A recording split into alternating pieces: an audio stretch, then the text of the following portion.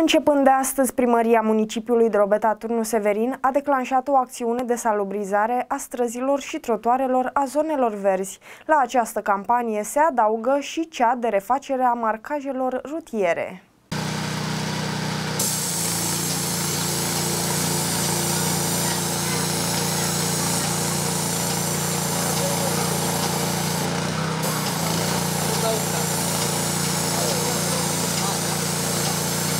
Cum merge treaba, domnul Popoviciu? Ați început? Foarte bine, am Da. început uh, ieri. Am Da, intrat, lucrat și noaptea, înțeleg. o să lucrăm și noaptea, preferabil vineri, sâmbătă și duminică, când circulația este mai mică și pe centru se poate lucra Văd mai că mult. faceți ce v-am spus, ați început cu zonele aglomerate, cu școlile, Da. pentru că erau uh, o grămadă de treceri care abia se mai vedeau.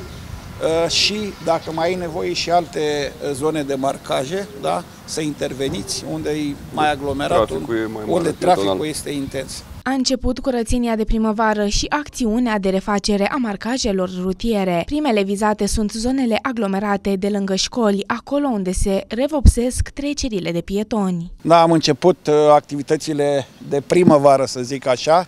Uh, Curățenie, am început cu uh, tăiatul copacilor, curățarea parcurilor. Acum, în timp de două săptămâni, lucrăm la tot ce înseamnă marcaje în oraș, în principal uh, trecerile de pietoni, uh, marcăm acolo unde sunt uh, zone aglomerate. Într-adevăr, era o necesitate, o parte din ele uh, se estompaseră. Continuăm, vom continua cu lucru în uh, cimitire, se apropie Paștele, vrem și acolo să facem curățenie, să uh, le punem toate la punct. Sunt lucrări specifice uh, unei primării, unui oraș mare ca Drobeta Turnul Severin.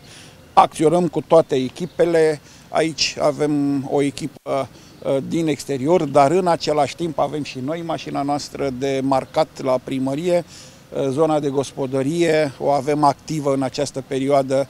Spuneam, am intervenit în parcuri, mobilierul stradal, uh, echipa de la uh, Electric verifică tot ce înseamnă becuri în oraș. Suntem tot timpul, în, uh, să zic așa, în priză.